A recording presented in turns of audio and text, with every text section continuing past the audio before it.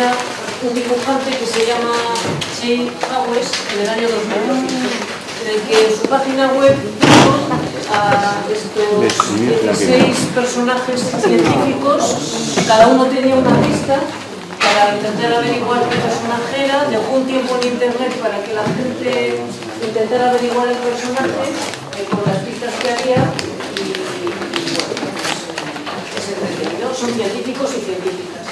Como hay 16 personajes y hay eh, una, dos, tres, cuatro, cinco, seis y para como esto tiene que ser igualitario me he cargado a cuatro señores eh, me he cargado, he cargado, perdón. Lo que he hecho es elegir a seis mujeres y a seis hombres. Eh, he elegido a los hombres que creo que son más reconocibles. Y lo que he hecho es dejaros eh, sacar la foto de las personas de las seis que he elegido, los ahí los seis por y luego tenéis para reconocerlos, aparte de la pista, esto iba a hacerlo de otra manera, pero bueno, iba a hacer otra cosa que os voy a enseñar, pero me iba a costar mucho tiempo y dije, no puedo, no me la tengo. Así que, gracias, mi madre. Eh, lo que había pensado, ahí tenéis para cada persona, en el papel hay tres frases, tres frases que se supone que la identifican. Y lo que quería hacer es algo que yo creo que es como hay que hacerlo, recortarlas, es decir, eh, mezclarlas bien y que tuvierais las tres frases que definen a cada una de esas personas separadas. Pero claro, mm, o sea, empecé a hacerlo y dije, me voy a morir. Y, bueno, me voy a morir, pero no quería morir recortando. Así que lo que he hecho es, no se las he dado recortadas, están las tres frases sin recortar y, y bueno, y entonces lo que quiero hacer ahora es dejaros un ratito a cada persona, bueno, podéis hacerlo juntos y juntas, ¿eh? ¿eh? vamos a dejar como hasta menos cuarto, si os parece, creo que da tiempo de sobra, para que intentéis reconocer a las personas que están allí puestas, tienen una pista todas ellas, encontrarla, hay una pista, en cada imagen hay una pista que puede ayudar, en cada imagen hay una pista que puede ayudar a reconocer a... El primero que tenéis os voy a echar, el primero lo voy a hacer con un ejemplo, es un señor barbudo y la pista es algo que, en fin, no corresponde a la imagen, es un patito de goma, esa es la pista del primer científico y además para, digamos, ayudar, algunas de estas frases, algunas de estas tres frases corresponden a ese científico. Entonces, tres frases son de cada científico o científica y entre la pista y las eh, eh, frases os voy a decir otra cosa para facilitar, como iba a recortarlas y mezclarlas, iba a ser más difícil, pero he sido tan boba que las he puesto en orden. Entonces, y estaba ya en casa, era domingo y no podía ya, ya no podía arreglarlo, si no las hubiera movido para dificultar el asunto, pero bueno, es decir, dividís de tres en tres, si dividís de tres en tres, corresponden a la persona correspondiente, ¿vale? Entonces, lo que quisiera que hicierais fuera reconocer a esas 12 personas y que dijerais cuáles son las tres frases que las definen. Y luego vamos a, conocerlas un poco mejor. Entonces, habrá... A ver, os voy, un, segundito, por favor. Os voy a, para ayudar, por si acaso, porque sé que las imágenes no son muy buenas. Aquí la pista es esta. Aquí la pista es la manzana, aquí es el halo, aquí no os lo voy a decir. Aquí estos son, que me lo habréis preguntado varios, unas fichas perforadas. Fichas perforadas que tienen que ver con, con los ordenadores. Los que somos un poco antiguos, aquí hay mucha gente joven, yo he hecho las prácticas de ordenador con fichas perforadas. Esto no es una rueda, porque hay alguien que ha visto una rueda, esta lleva en la mano una fotografía de lo que sea. Ella es obvio, creo. Esto es una manzana mordida. A ver qué os insinúa. Este tampoco lo voy a decir. Pero este año se festeja algo que tiene que ver con él. O si os ayuda. Esto es un pergamino. Eh, en el aula no se puede usar el móvil. Pero claro, también es cierto que me habéis dado la pista porque a lo mejor eh, parte del ejercicio puede ser tener el ordenador y buscar información con las pistas que hay, ¿no? Eso puede ser parte de la historia. Entonces, bueno, yo eso, bueno, eso vosotros sabréis mejor que, nadie porque a mí ni se me había ocurrido, fijaros. Claro, yo no doy los nombres, doy unas pistas y doy unas frases tipo, con lo cual, bueno, pues puede ser parte del ejercicio usar el ordenador. Yo en eso, mira, no, no había pensado. Eh, eh, para mí es bueno, una, una, dinámica de, de eh, STEAM, además con la A, porque podría ser, yo aquí lo he sacado porque mis dotes artísticas son nulas, pero es cierto que, por ejemplo, podría organizarse en clase un ejercicio para hacer en el aula en el que parte de los niños o niñas, o todos y todas, dibujan a un científico o una científica que se han estudiado eh, con las pistas que les parezcan, poniendo una pista para que se vea, eligiendo las tres frases de su científico o científica y luego lo lanzan al aula y el resto de las personas tienen que averiguar quiénes son esas personas que se ocultan tras esa pista que han puesto y tras esas frases, tres, cinco o las que sean, que identifican al personaje. ¿no? Y puede ser un ejercicio en el que puedan utilizar al mismo tiempo pues, un ordenador para buscar la información. ¿no? Entonces, por eso creo yo que es parte artístico, porque es cierto que en estos personajes son todos iguales, es decir, tienen características físicas, por ejemplo, este es un personaje que si veis la foto, luego, si no lo habéis averiguado, es él, esa barba es, es él, y hay personajes que su apariencia física pues no denotan mucho porque, por ejemplo, esta y esta pues son iguales con un vestido un poco distinto y no la identifican demasiado, ¿no? Pero también, pues bueno, puedes, eh, supongo que un chaval o una chavala que tiene que hacer esto seguramente eh, buscará un parecido físico con el pelo puesto de manera adecuada para que se adapte a, a lo que él o ella quiere dibujar, ¿no? Entonces, bueno, para mí esto es un ejercicio colaborativo, creo, creo que es hasta divertido, creo, no sé, a mí me parece divertido, y en el que hay muchas cosas por medio y luego además creo que luego puede haber la parte expositiva, mientras están todos ahí intentando averiguar quién es esto, pues las personas que se han currado al personaje en cuestión supongo que pueden salir y contar la, en, un tiempo X la historia de esa persona, ¿no? Es decir, yo creo que es una cosa completa que incluso puede durar pues mm, varias horas o varios días, ¿no? No sé, eh, vosotros y vosotras sabéis mejor que sois las que, las que estéis currando con, gente pequeña en el aula, ¿no? Entonces, lo, proponía, pues eso, porque tiene un poco de todo, ciencia, eh, bueno, visión de género eh, y, además descubrir personajes, algunos conocidos y otros poco conocidos, que, bueno, han hecho ciencia. Mi objetivo conocer a las mujeres, con lo cual a los hombres me los voy a pasar un poco rápido, porque no me interesan en exceso en este caso, ¿eh? luego me interesan mucho en la vida cotidiana, pero bueno. Entonces lo que vamos a hacer, ya vamos a ir pasando y como solo tengo esta transparencia la primera, os voy a ir mostrando en el orden correspondiente a los científicos y científicas. El primero es que enseguida lo voy a pasar y ya esta transparencia no está. El primero es el Barbas este, con esa pista. ¿Quién era? Arquímedes y quiénes eran sus frases, si me las...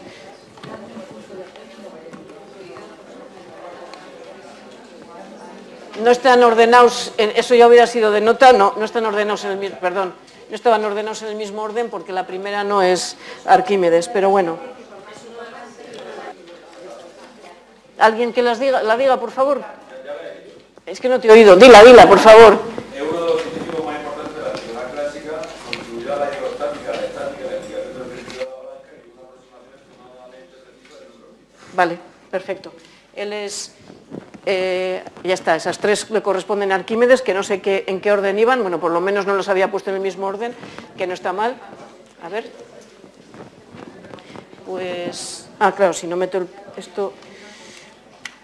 lo paso aquí, es que he hecho lo de siempre, no he metido el, bueno, lo paso aquí, ya está. Él es Arquímedes, efectivamente, fijaros, en este, en el que este dibujante hace esto, eh, luego tiene una segunda imagen en donde ya pone al personaje, Arquímedes de Siracusa, la pista, esta la he rodeado yo, ¿eh? la pista era el patito de goma, eh, pone el, bueno, el, año de nacimiento y luego pone pues, lo que, algo que le caracteriza. Por ejemplo, en este caso Eureka, y de este señor Arquímedes pues, se puede contar, supongo que es lo que contaría pues, un chaval o una chavala que, que se lo prepara, pues este, la anécdota de Eureka de Arquímedes pues es que tenía que eh, medir eh, averiguar eh, si una corona que le habían regalado al rey de turno era maciza de oro o no, eh, no podía romperla para averiguarlo, sabía el peso del oro, del posible plomo que tenía en el interior aquella corona y se le ocurrió que la forma de medir ese volumen, ese peso, digamos, pues era meter en la corona dentro del agua, calcular el agua que desplazaba y entonces pues averiguar si aquello correspondía a un volumen desplazado completo de oro o no. Entonces lo encontré, es la manera de medir un cálculo, de hacer un cálculo volumétrico sin destrozar el, objeto que estás intentando medir el volumen. Una historia fácil de contar y que puede ayudar a, pues a la gente a, entender un poquito más de, física. ¿no? Y el patito de goma pues es porque, bueno, la historia, esto seguramente será todo mentira, ¿no? será leyenda lo del, vamos, lo del eureka metido en la bañera, pero bueno, el patito de goma es porque se le ocurrió aquella idea en la bañera. ¿no? Bien, la siguiente persona que había aquí era el de, el de la manzana. El de la manzana, este era el segundo que había. No lo quiero pasar para que no se vea, pero bueno, este era. Era Newton y le correspondía qué tres frases. Sí. En matemáticas el desarrollo universal eso es. De hecho, de Newton hay una historia muy cutre que entre dos científicos, Newton y Leibniz, tuvieron un episodio bastante penoso en ciencia que se pelearon por quién era el autor del cálculo infinitesimal. ¿no? Ganó Newton porque fue a, la Royal Society esa pelea y en ese momento él era el presidente, con lo cual pues ganó él. Vale, pues, ah, perdón, si aquí lo paso a mano, perdonar. Él es Isaac Newton, efectivamente no he puesto nada, la pista es la manzana para hablar de la ley de gravitación universal y efectivamente era, este hombre le daba muchas cosas, era físico, era matemático, bueno, en aquella época los científicos eran científicos generalistas y este hombre era conocido pues, por ser bastante, eh, bueno, eh, era muy... Eh, prepotente y le gustaba, le gustaba destrozar la vida a cualquiera que le llevara la contraria. ¿no?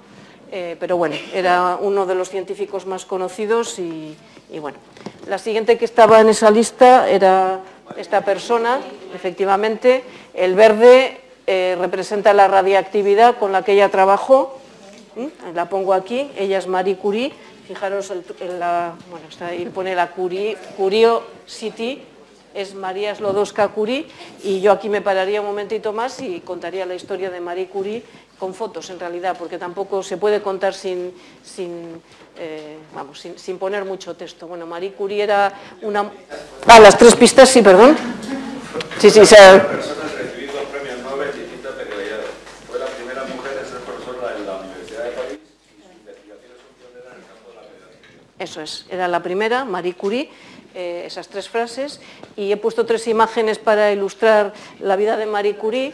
Eh, ella fue una, mujer que salió de Polonia para poder estudiar, eh, salió con su hermana, la hermana era mayor que ella, estudió mientras Marie daba clases para que ella pudiera estudiar y cuando la otra hermana acabó la carrera lo hicieron en, sentido contrario. ¿no?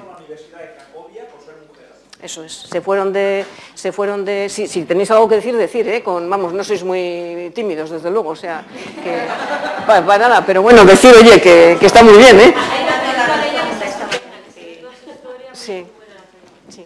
La historia de Marie Curie, de hecho, es extraordinaria y, bueno, aquí hay dos imágenes, estas en el laboratorio donde trabajaron al principio, eh, un laboratorio era un hangar, un hangar en el que en unas condiciones pésimas y Marie Curie también es estas ambulancias que conducía la propia Marie Curie durante la guerra, se llamaban las Petit Curie, porque en ellas eh, ayudaban a las personas, a los soldados heridos, etcétera, y a las personas enfermas haciendo radiografías y, bueno, ella misma la conducía, era una persona ya mayor. ¿eh?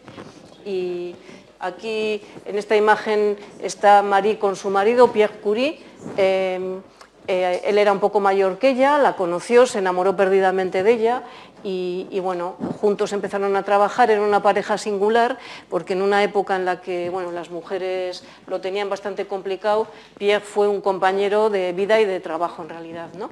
Aislaron el radio y el polonio, es decir, trabajaron en materiales radiactivos y efectivamente recibieron los dos el Premio Nobel de Física en el año 1903 junto a Henri Becquerel. En aquella ocasión eh, recordar que los premios Nobel se otorgaban desde el año 1901, con lo cual la primera mujer que recibió un Nobel, que fue Marie Curie, en realidad no tardó mucho. Luego ya ha pasado lo que ha pasado, ¿no? que no lo han recibido eh, muchas.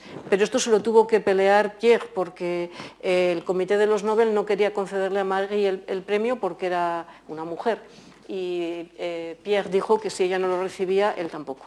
Así que no tuvieron más remedio que concedérselo. Eh, Pierre mm, murió en un accidente en un carro de caballos, él parece que en aquel momento ya estaba enfermo, eh, eh, todos los materiales con los que habían trabajado eran, eran radiactivos y todos se enfermaron, todos, absolutamente todos. De hecho, vivieron más tiempo del que podían haber vivido porque eran grandes deportistas y parece que ellos, pues los fines de semana iban al monte, etcétera, y aquello les, bueno, pues les mejoraba un poco la salud. ¿no? Bueno, pues él murió atropellado por un carro de caballos y fue en el momento en el que ella entró a dar clases sustituyendo a Pierre en la Universidad de, París. Y, bueno, eh, en el año 1911 le concedieron el Premio Nobel de Química y le invitaron cordialmente a que no fuera a recogerlo, porque en aquel momento eh, Marie había, tenía eh, un amoroso con un, hombre casado y Pierre Langevin era un hombre casado, el que tenía compromiso era él, supongo, no, no ella, ¿no? Pero bueno, una mujer, bueno, polaca, extranjera en realidad, ¿no? Porque ahí entonces sale todo, el racismo, el sexismo. Esto lo cuento porque creo que en el aula hablar de estos temas tampoco está mal, ¿no?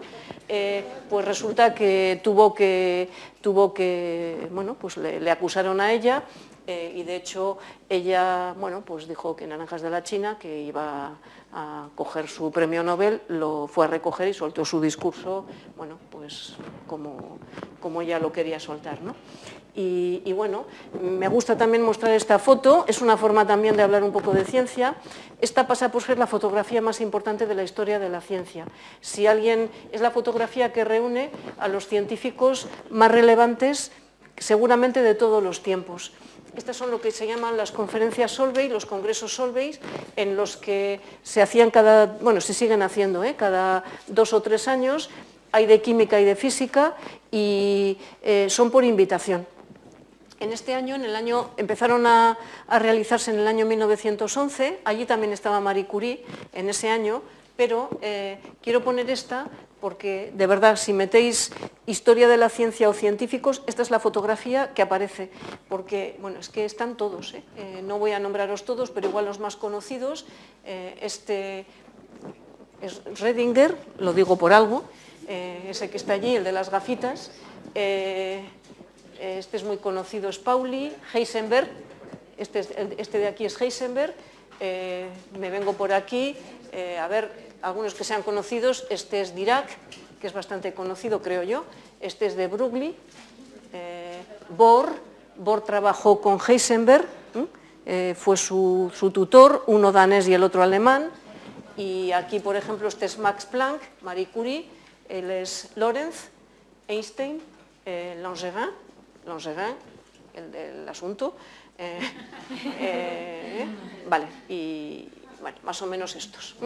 Es, bueno, reúne a científicos realmente relevantes, que han hecho aportaciones muy relevantes a la ciencia. Bueno, ahí estaba Marie Curie y durante mucho tiempo Marie Curie fue la única mujer invitada a estos congresos. Probablemente no había muchas más que se dedicaran a la ciencia de forma activa, ¿no? pero, pero bueno, ella es, eh, la verdad, en estos congresos está omnipresente. Y esto me daría pie para seguir hablando de Curie, porque Marie Curie tuvo dos hijas, eh, Eva e Irene. Eva se dedicó a la literatura, de hecho, fue la, de la familia que se dedicó a una cosa distinta, y Eva escribió las memorias de su madre y gracias a eso se conoce gran parte de la biografía de Marie Curie que no es la científica. ¿no? Y de hecho Eva fue la única de la familia que vivió 102 años. Vivió mucho tiempo porque fue la única que no se expuso a la radiactividad, la única. Ella es Irene, la hija de Marie Curie, en esta fotografía. Como veis, este hangar ya es un poco mejor que el primero. Por cierto, esta gente lo que hacía era extraer estos materiales, el radio y el polonio, los traían de pegblenda. restos de pegblenda que salían de las minas y literalmente las cocían. Tenían grandes bidones en el que vertían pegblenda con agua y... Eh, se dedicaban a, esto parece la canción del chocolate pero se dedicaban literalmente a hervir y a remover, es decir, se exponían a respirar aquello de una manera brutal, ¿no? por eso enfermaban, que no está mal tampoco contarlo. Bueno, pues ella es Irene, ya un poco más mayor, y él es Frédéric Joliot-Curie, el, marido de, Irene, se casó con ella, eh, Marie no quería que se casara porque él era ayudante de Marie y ella pensó al principio que quería casarse con Irene para progresar en el laboratorio. Pero bueno, ellos se querían, se casaron y de hecho colaboraron durante toda su vida con un pequeño detalle. Él adoptó el apellido de, la familia. No creo que sea porque quería ser Curie para que le reconocieran, es, yo creo que es un detalle. En Francia y en muchos países todavía hoy en día, a estas alturas de la vida, las mujeres eh, pierden su apellido al casarse. De hecho, por eso el rastro de muchas científicas es muy difícil de seguir, de muchas científicas y de muchas mujeres, porque si quedaron viudas o lo que fuera y se casaban con otro señor, su apellido era el de soltera, luego el de casada con el primer señor y luego el casada con el segundo, con lo cual a veces el rastro de esas mujeres se pierde muy rápidamente porque publican con nombres distintos. ¿no? Eso es parte de, la invisibilidad de las mujeres. Bueno, pues él adoptó, él se llamaba Joliot Curie, como Irene se apellidaba Joliot Curie, los dos se apellidaban igual.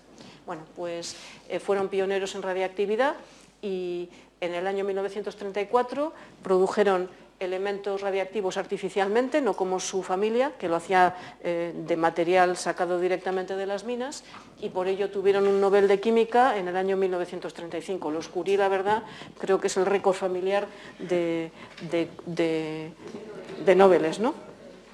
Vale. Y, sigue la saga, porque ella es Hélène Langevin Joliot, que se casó con un descendiente del amante de su abuela, de, esto tiene gracia, esto ya es como de... Esto es para la novela de la tarde, ¿no? Bueno, esto es aparte, me importa un pepino en el fondo, lo digo porque es el... Bueno, ya está, es una chorrada.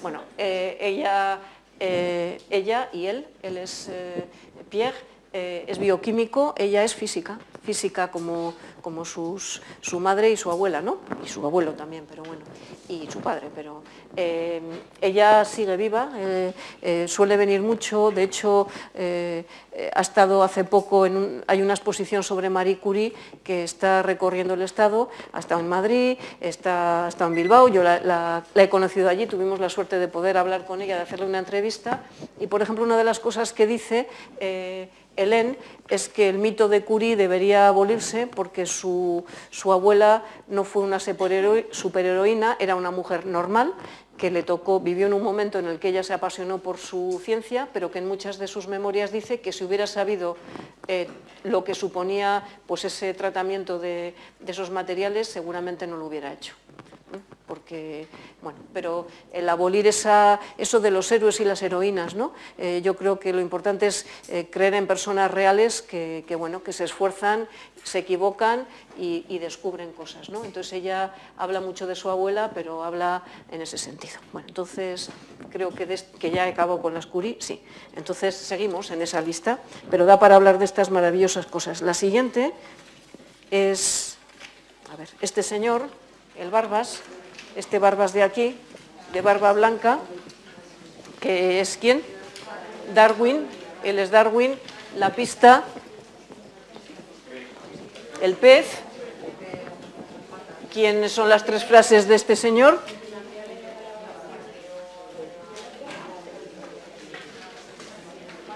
Ahí. Él es Darwin, la pista era ese broche que tenía allí, que representa un pez, un pez con unas patitas, el principio de la evolución, y de hecho yo como soy muy antigua no lo sabía, pero esto lo averigüé un día en, un instituto que fui a contarles esto y dice uno, ah, Darwin, el pez. Y yo digo, ¿de qué están hablando? Pues hay unos dibujos animados que el personaje principal se llama Darwin y es un pez que empieza a tener patitas, así que, bueno, pues esa es, Darwin es la, eh, por la teoría de la evolución y, bueno, esa era la pista, ¿no? Charles Darwin, ¿vale? La siguiente, me lo he apuntado aquí para en orden, vale. La siguiente era esta mujer que tenía esas fichas perforadas puestas, esas fichas perforadas colgadas, eh, hay, que hay que saberlo, ella es Ada Lovelace, efectivamente, ella es Ada Lovelace, las pistas son esas fichas perforadas, las frases de esta, ¿quiénes, ¿cuáles son? ¿Cuáles son las tres frases que corresponden a Ada?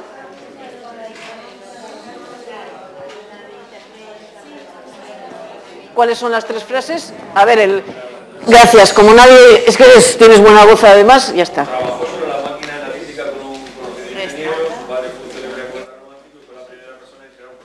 Eso es, perfecto. Pues Ada, gracias. Eh, Ada Lovelace fue el poeta romántico es Lord Byron, eh, de hecho, Ada Lovelace era la hija de Anabela Milbank, que era una, mujer de la alta burguesía, pero que también le gustaba la ciencia, y de Lord Byron, un poeta romántico, efectivamente. Cuando eh, la madre de Ada dio a luz a su hija, a su única hija, eh, Lord Byron ya tenía sus asuntos, bueno, era un hombre bastante promiscuo, la madre le echó de casa, le dijo que no le quería volver a ver y además también le gustaba lo ajeno, parece, y entonces eh, tuvo que huir de Inglaterra y la madre se obsesionó con que su hija no fuera como su padre, ¿no? Una, una, mujer con una imaginación desbordada, una poeta que iba a ser una loca y decidió que la mejor manera de ponerla en cintura era probablemente formándole en ciencia, en matemáticas en particular. Y de hecho, bueno, ella también era una mujer que, gustosa de la ciencia, ¿eh? Y bueno, tuvo muchas preceptoras y muchos, bueno, algún preceptor también, pero por ejemplo Mary Somerville, que es una astrónoma bastante conocida, eh, fue una de sus preceptoras y parece que bueno, le enseñó parte de la parte humana de la ciencia. ¿no? Eh, bueno, la, eso fue lo que marcó a Ada, que fue una niña bueno, que tenía eh, problemas nerviosos, parece, no tuvo una niñez muy feliz y bueno, fue una, aquello que quería evitar la madre, que fuera una loca con una imaginación desbordada, no lo logró porque tenía una imaginación desbordada, de hecho, fue una visionaria y era una mujer eh, inteligente, seguramente sería una niña prodigio, una de estas personas que he comentado a la mañana que saben mirar de otra manera, ¿no? que hay personas determinadas que miran distinto y descubren cosas distintas. ¿no? Y bueno, pues el ingeniero que está nombrado en la frase que ha leído aquí el compañero, ¿cómo te llamas? ¿Cómo te llamas? Sí, Antonio. En lo que ha leído Antonio, que he dicho que había un ingeniero, pues el ingeniero era Charles Babbage, esta es la máquina analítica. Eh, Charles Babbage eh, conoció Ada le convenía, Ada era de la alta burguesía, ella tenía contacto con gente que tenía dinero, él quería construir su máquina, eh, necesitaba financiación, no la consiguió, nunca consiguió construir esta máquina, pero ellos empezaron a colaborar y en un momento dado él era el que hacía el hardware, digamos, lo que ahora se habla así en ordenadores, ¿no? y ella el software. ¿no? Ella, eh, ella fue la que hizo el primer algoritmo no trivial, en aquella época ya había máquinas que hacían cálculos sencillos, ¿no? sumas, restas, etcétera, pero ella hizo un algoritmo bueno, informático para una máquina que no existía desde luego, calculando lo que se llama en matemáticas los números de Bernoulli, que son unos números que se definen de manera recurrente. Pues ella hizo un algoritmo para que esos se, Es cierto que no hay que tener una máquina para hacer un algoritmo, basta con hacer un programa y se acabó. ¿no? Bueno, y las fichas eh, perforadas, aquí los que tengan cierta edad con, pues no sé, más o menos cincuentones, si hay alguien. Em, yo, por ejemplo, eh, lo digo por, lo que voy a decir ahora, yo las prácticas de ordenador en, mi época fueron hacia el año 83, eh, las hice con fichas perforadas. En aquella época, en la Universidad del País Vasco había un ordenador central, tú hacías tu programa, ibas con tus fichas con una gomica, la entregabas al ordenador central y, allí te sacaban tu programa. ¿no? Entonces era la forma de programar. Y mm, también me gusta contar con esta historia que esto, si lo ves de lejos y no sabes que es un ordenador, puedes pensar que es un telar, porque de hecho es un telar. Eso es, y me gusta contarlo porque en el fondo es la informática surgió pues de algo muy femenino como es el tejido y aunque los, los que tejían en estos telares había muchos hombres de hecho, y de una mujer que hizo el primer programa informático. ¿no? Esto es un telar, porque de hecho en los telares de aquella época, eh, cuando la revolución industrial se quedó en paro gran, gran número de personas que tejían en telares, de hecho, en estos telares que hacían eh, tejido yácar, eh, el dibujo, esos yacar, el dibujo yacar, no sé si todo el mundo sabe lo que es, pero bueno, esos que tienen los puntos con dibujos, donde tiene que haber el dibujo se hacía con fichas perforadas. Es decir, la informática nació en el fondo de algo que es una historia, pues eso, la, historia del tejido. ¿no? Una historia, a mí me parece que contar estas cosas de cómo surgieron es, es eh, apasionante. ¿no? Esto es un telar y es el primer ordenador, este es un ordenador, es una, bueno, una copia de algo que nunca se ha llegado a construir, ¿no? pero eh, lo tienen en el Museo de, Londres y bueno, esto es lo que quería construir Babas para que funcionara pues como, como funciona un telar, ¿no? tejiendo, tejiendo esos algoritmos y consiguiendo operaciones no triviales. ¿no? Una historia preciosa. Eh. Ah, no, no, claro, yo sigo con mis rollos. Y esto da pie para hablar de otras mujeres que, se han, que han hecho informática. Y me gusta traer a esta, esta mujer que es... Eh, no sé si habéis visto la película de figuras ocultas. Eh, pues eh, la protagonista de esa película es esta mujer, esa mujer se llama Catherine Johnson, cumplió 100 años en septiembre del año pasado, es esta belleza de mujer, eh, bueno, es una todoterreno. En esa película, si no la habéis visto, bueno, hay un libro que es también muy aconsejable, la película está muy bien, es bueno, una película americana, pero bueno, pues habla de la historia de esta mujer que era una niña prodigio en la escuela, esta es otra niña prodigio, también ha habido hombres prodigio, pero como de ellos no hablo mucho, pues ya está, ¿no? Pero ha habido alguno, creo. Pero esta sí que era una niña especialmente buena, en un momento en el que en Estados Unidos, estos eran de la parte del sur de América, segregación racial, y los niños negros no podían ir a la escuela con los niños blancos pero esta mujer era tan buena, era una niña con, bueno, con tantas capacidades que hicieron una colecta en su pueblo para que pudiera ir a estudiar a otra ciudad. ¿no? Y bueno, estudió.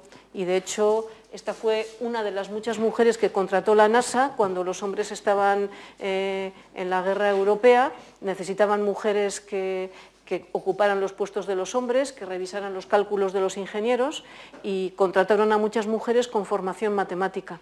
Primero contrataron a mujeres blancas y cuando ya no había blancas empezaron a contratar mujeres negras, mujeres que muchas de ellas eran profesoras en en colegios segregados, por supuesto, pero que sabían matemáticas, eran licenciadas en matemáticas o con grados en matemáticas y tenían las matemáticas bastante, bastante eh, presentes. ¿no? Y, bueno, pues em, os voy a pasar otra transparencia porque yo creo que esto es muy importante que la gente lo vea. Eh, esta es la imagen de... Eh, ellas estaban, eran las computistas del este y las del, las del oeste y la del este. Esto es como estaban las blancas y esto es una fotografía, no está a propósito puesta así para dar pena, ¿eh? es la única fotografía que, porque no las fotografiaban tampoco, eran, eran mujeres negras, ¿no? pues ya está.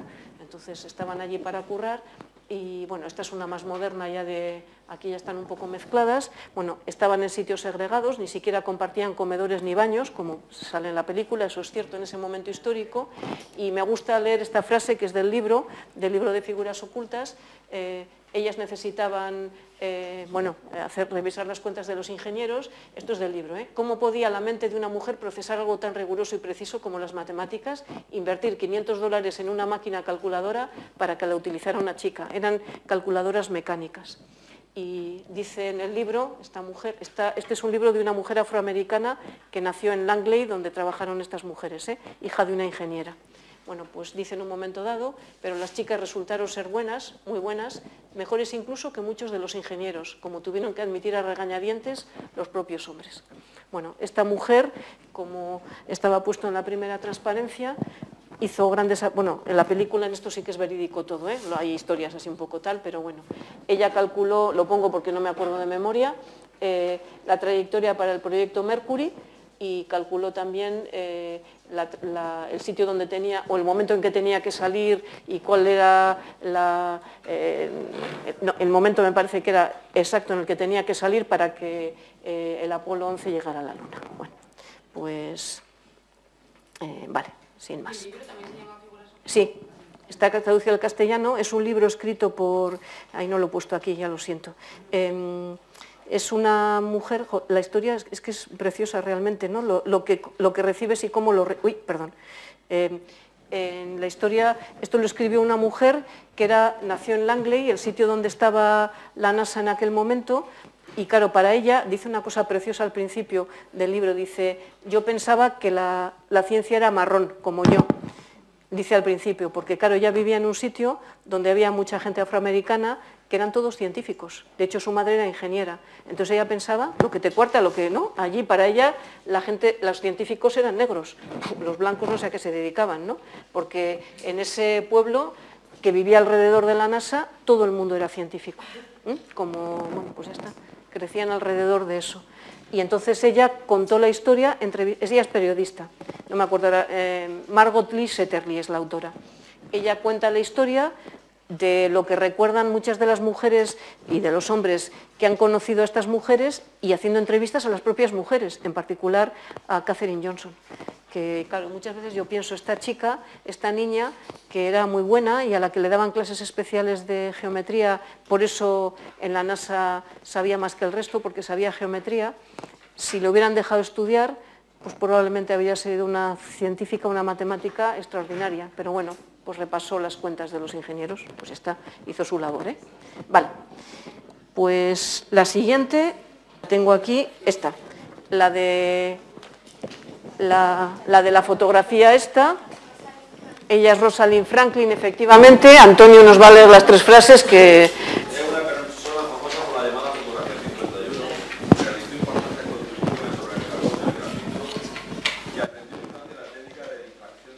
Eso es. Bueno, ella es Rosalind Franklin, efectivamente, una mujer que, bueno, muy reivindicada en este momento, es uno de los iconos de científicas no solamente olvidadas, sino con una historia muy cutre alrededor de ella. ¿no? Eh, bueno, esta mujer era, era una mujer que pertenecía a la alta burguesía inglesa y Em, podía no haber estudiado, pero bueno, a ella le gustaba, le gustaba la ciencia y se dedicó a investigar. Y de hecho, al principio de la guerra, eh, fijaros los años en los que nació, ella hizo contribuciones al carbón, en un momento en que el carbón era una fuente de, de, energía muy utilizada. ¿no? Entonces ella hizo su tesis, de hecho, sobre el grafito y después ella sabía francés y en Inglaterra eran bastante sexistas, eh, no permitían a las mujeres que entraran en los laboratorios, en Francia eran un poquito más modernos en ese tema y se fue a Francia donde aprendió la técnica de difracción de rayos X, que es una técnica para, bueno, pues para mirar, es una técnica fotográfica microscópica. ¿eh? Eh, aquí la veis con, a ella pues, con esa técnica de allí. Bueno, cuando regresó a Inglaterra para, para seguir trabajando en, en, estos temas, pues ella empezó a dirigir a, un, alumno y en un momento dado ellos trabajaban en un laboratorio y eh, en el laboratorio vecino estaban los descubridores de, bueno, a los que les dieron el premio Nobel por el descubrimiento de la estructura de doble hélice del ADN. Eh, ella, con su técnica de difracción, consiguió esta fotografía y uno de sus compañeros de laboratorio no es que le robara la fotografía y no se la devolviera, sino que le quitó la fotografía, la enseñó a los del laboratorio vecino y se la devolvió, con lo cual ella no supo que le habían robado la fotografía. Él fue, al, parece, bueno, se cuenta que seguramente estaría enamorado y no le hacía ya mucho caso, yo qué sé, lo que fuera, eso ya a mí no me importa. Pero no me importa porque la cutrez es la cutrez, se haga por lo que sea. ¿no? Eh, los demás, los del laboratorio vecino, eh, cuando vieron aquella fotografía, ahora os voy a mostrar la frase, em, pues esa es la frase, estos son Watson y Crick, a los que les dieron el premio Nobel, dos de los que dieron el premio Nobel por, el, por el descubrimiento de la estructura de doble hélice, dijo, en cuanto vi la foto quedé abierto y se me aceleró el pulso. Watson y Crick llevaban mucho tiempo trabajando sobre la estructura del ADN y aquella prueba esa fotografía 51 fue la prueba de que su, hipótesis era verdadera. ¿Eh? Ellos teorizaban sobre el tema, pero aquello fue la prueba. Es decir, ellos descubrieron la estructura del ADN, pero ella tuvo una parte también importante. ¿no? Bueno, eh, ella falleció, falleció como mucha de esta gente que trabajaba sin protección, porque esto era radiactivo también, todas estas técnicas de difracción, y en el año 62 Watson, Crick, que son estos dos, y Wilkins, que es el que le robó la fotografía a Rosalind, eh, recibieron el premio Nobel eh, ni Watson ni Crick la citaron en su discurso, eh, pues Wilkins parece que sí, y he subrayado a este porque de hecho la figura de Rosalind Franklin se conoce gracias o a pesar de Watson. Watson, que todavía está vivo, escribió sus memorias, sus memorias, es decir, yo soy eh, de ese estilo, ¿no? Hablando sobre el descubrimiento de la estructura del ADN y la tenía tanta manía que se dedicó a criticarla en sus memorias, ¿no? en esto de, pero a criticarla pues era, tenía mal humor, iba siempre mal vestida, no había quien hablara con ella y gracias a eso, a ese bestseller, digamos, científico, eh, pues se empezó a investigar sobre Rosalind Franklin, que, bueno, pues, bueno, que fue copartícipe en el descubrimiento del ADN. ¿no? Y ahora es una de las iconos en una historia pues, muy sucia. Ojo, que también han sufrido hombres, ¿eh? hombres a los que les han robado su trabajo, habrá muchos, pero bueno, en este caso es la historia de Rosalind Franklin. Bien. La siguiente, ya sé que tengo diez minutitos, ¿eh? acabamos. Vale, la siguiente es ella, es ella, la de esta mujer que era más, creo yo que era más sencilla de averiguar, ella es una mujer vestida de enfermera y que tiene una lamparita, ella es Flores Nightingale, efectivamente, y Antonio nos va a deleitar con las tres frases, luego te invito a un agua.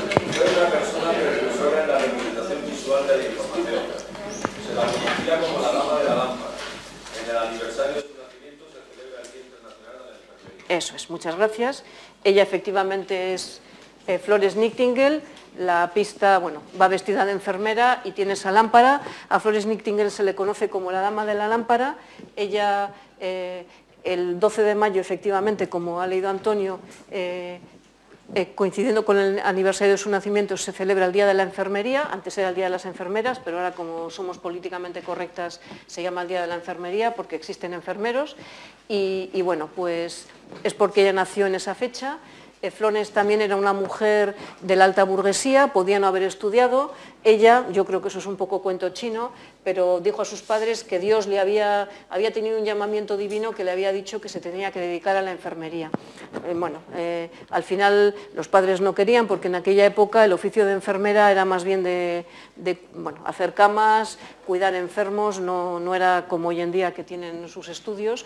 Y bueno, al final lo consiguió ella, como muchas mujeres de esa época, señoritas educadas, se educaban eh, viajando por Europa, en este caso con sus padres, y ella, además de mirar lo que visitaba, es decir, la parte eh, más eh, lúdica, le gustaba visitar hospitales y visitó hospitales de muchas partes de Europa donde ella aprendía técnicas que utilizaban en aquellos hospitales. ¿no? Bueno, ella es una, una, de las grandes heroínas inglesas porque durante la guerra de Crimea esta mujer estuvo en, el hospital de Scutari donde morían, eh, eran batallas las que realizaban en aquella época a caballo y con sable. ¿eh? pues morían muchos eh, de los soldados británicos mm, que no les tocaba morir. Es decir, había una tasa de mortandad grandísima cuando el ejército británico, que era una coalición de los británicos con otros europeos, franceses, etcétera, contra los prusianos. ¿eh? Morían mucho y no sabían por qué. Ella fue con un grupo de enfermeras que ella misma había formado y allí empezó a aplicar eh, bueno, medidas higiénicas fundamentalmente quemaban vendas, ventilaban, empezaron a, eh, a dar de comer mejor a la gente, en fin, una serie de medidas y se le conoce como la dama de la lámpara porque ella paseaba todas las noches para medir la fiebre de sus enfermos, etc. Ella y sus enfermeras paseaban con su lamparita mm, vigilando a, esos soldados.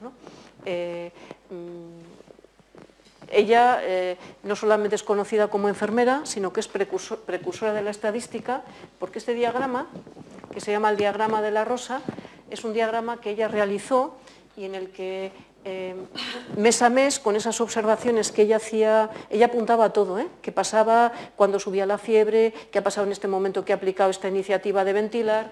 Bueno, pues ella representó en este diagrama para presentar luego al volver a Inglaterra a las autoridades, ella no quería presentar una serie de datos que eran ilegibles, decía quiero presentar de manera gráfica todo esto que ha ocurrido para convencer a las autoridades que estas cosas que hemos hecho son las buenas. ¿no? Entonces utilizó este diagrama eh, un diagrama de quesitos como el que, el que tenemos eh, habitualmente, en el que presentaba, eh, son diagramas de área, es decir, se calcula el área y había tres variables, los meses, cada quesito es un mes y cada color representa a una muerte por un, por un motivo distinto. ¿no? Lo rojo es por heridas, pues me han pegado un sablazo, me han atravesado, pues me muero. ¿no? Esto es por enfermedades, por otro tipo de enfermedades, y estas de aquí, que son las azules, eran por infecciones, por tifus, por cosas de ese estilo, es decir, por cosas que son producto de la falta de higiene.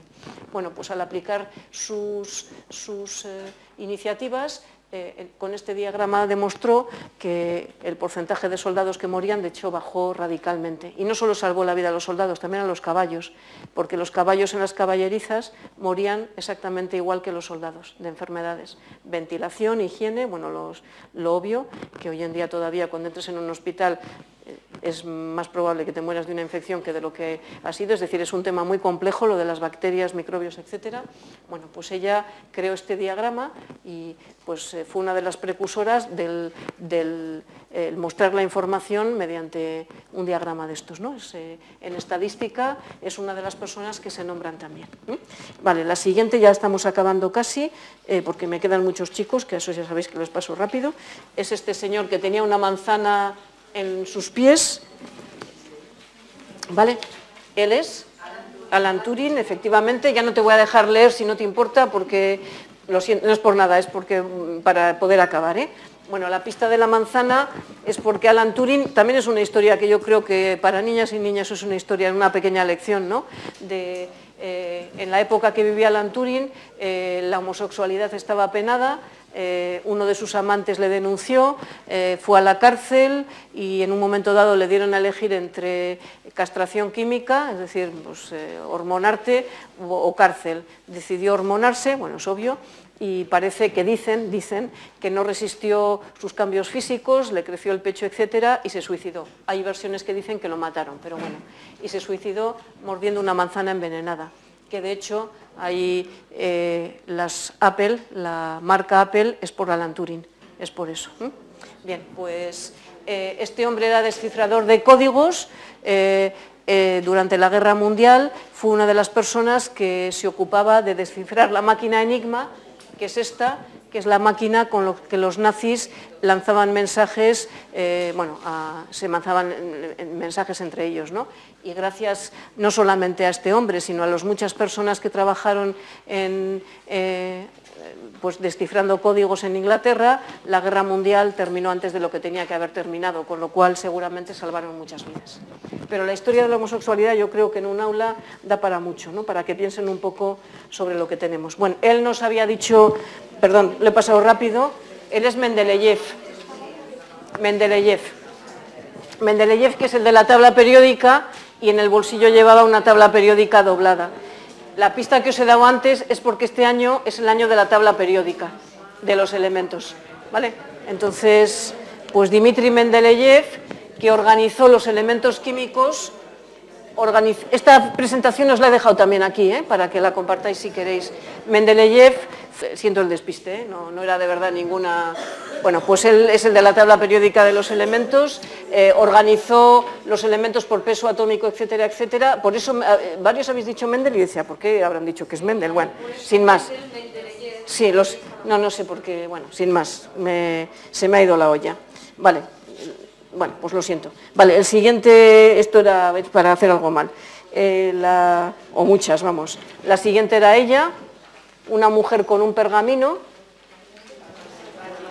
ella es efectivamente Hipatia de Alejandría, la, guardiana de la Biblioteca de Alejandría, digamos, que es una de las primeras científicas de la que se tiene referencia y de hecho fue una maestra de prestigio, eh, se ha hecho seguramente famosa y además Antonio me lo ha dicho antes por la película de Ágora, bueno, que es una película muy bella, con muchas licencias poéticas, pero, pero bueno.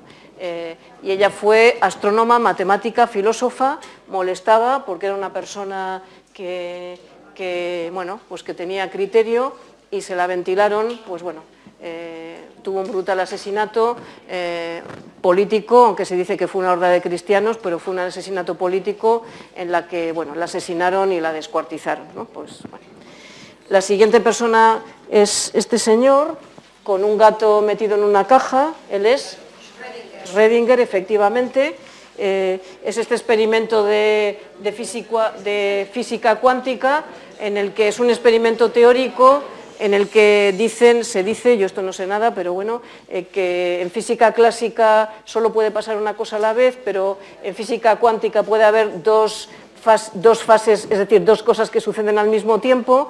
Entonces es un gato que se mete en una caja, hay un veneno, se acciona de cierta manera y la historia es que en un momento dado el gato puede estar vivo o muerto a la vez por acción del veneno. Pero en cuanto el observador abre la caja, o está vivo o está muerto. Digamos que el observador cambia el experimento en cuanto empieza a observar. Eso es un poco la historia de Schrödinger. Y la última persona que aparece es ella, que es, eh, esta es más difícil, Mary Anning, efectivamente, muy bien, aquí sois, muy buenas.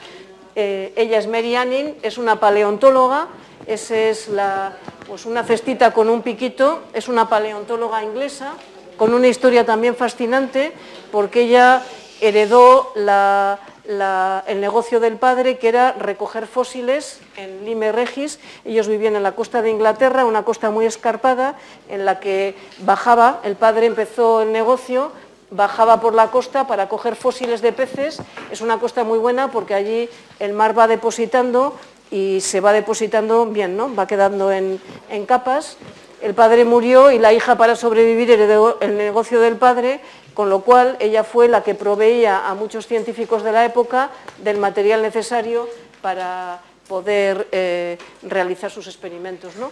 Ser una recolectora de fósiles se llama, que es precioso lo de recolectar fósiles, no es fácil. Es decir, si voy yo a recolectar fósiles, seguro que primero lo piso porque no me he dado cuenta que es un fósil y luego hay que sacarlo. ¿no? Ella lo hacía con cuidado, era una experta en eso, y, por ejemplo, realizaba dibujos, esto está muy bien, porque a lo mejor después de recogerlo se le podía romper, ¿no? Y bueno, pues gracias a ella pues, eh, eh, se realizaron los, primeros eh, descubrimientos de la paleontología moderna y encontró esqueletos de ictosaurios, pequeños dinosaurios, son pequeñitos, son peces que empiezan a, evolucionar en las costas de Inglaterra. y creo que más o menos esto es todo. Y sí, sí.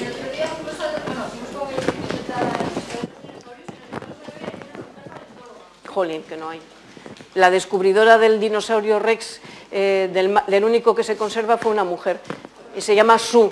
El dinosaurio se llama Sue porque ella se llama Susana. Pues... Bueno, ella no era paleontóloga profesional, ella era la que surtía, pero bueno, esta mujer sabía de paleontología mucho, desde luego.